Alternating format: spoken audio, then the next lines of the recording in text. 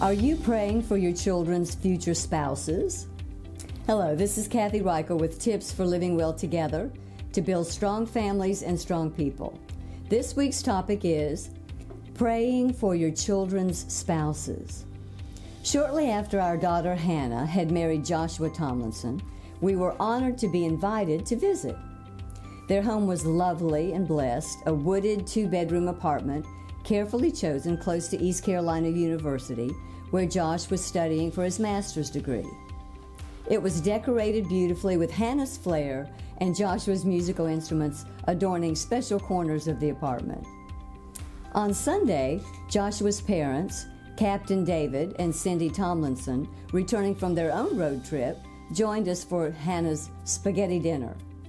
We left feeling the restfulness that God designed into a godly marriage for them and for us as their parents.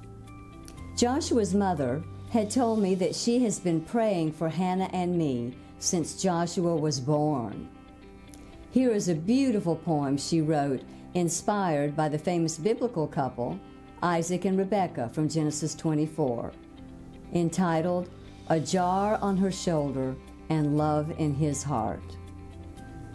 Show kindness to my son, O Lord, I prayed upon my knees. Bless his sweet Rebecca, wherever she may be.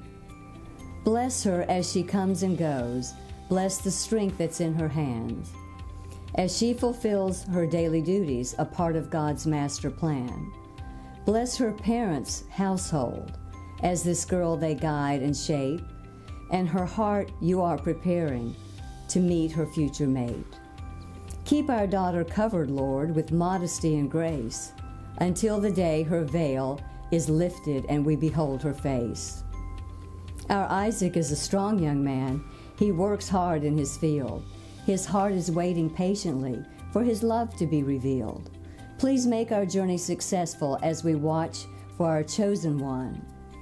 When with your hand of blessing, the two shall become one.